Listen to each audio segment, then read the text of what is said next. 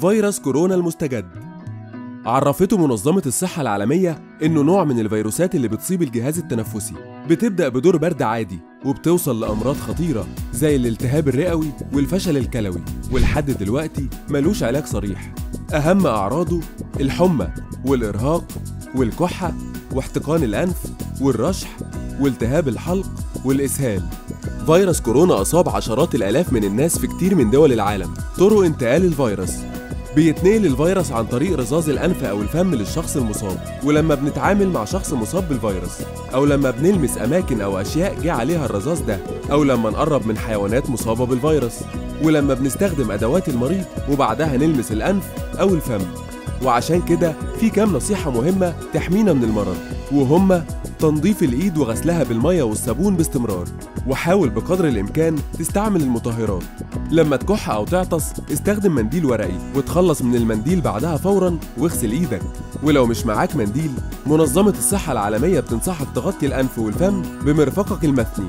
ما تقربش من حد مصاب بالحمى أو الكحة وابعد عنه متر على الأقل. واطبخ الأكل كويس خصوصا اللحوم. لو حسيت بأي أعراض بالحمى أو الكحة أو صعوبة التنفس زور أقرب مستشفى بسرعة. كمان في كام معلومة لازم نأكد عليهم.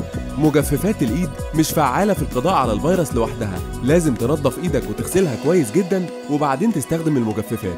ما ينفعش تستخدم الكمامات أكتر من مرة ولما تيجي ترميها ما تمسكهاش من قدام. رش الجسم بالكحول أو الكلور مش بيساعد في القضاء على الفيروس. ده بالعكس ممكن يضر ملابسك أو الأغشية المخاطية زي العينين والفم.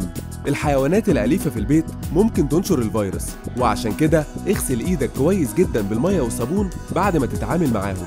والثوم ما بيمنعش الإصابة بالفيروس.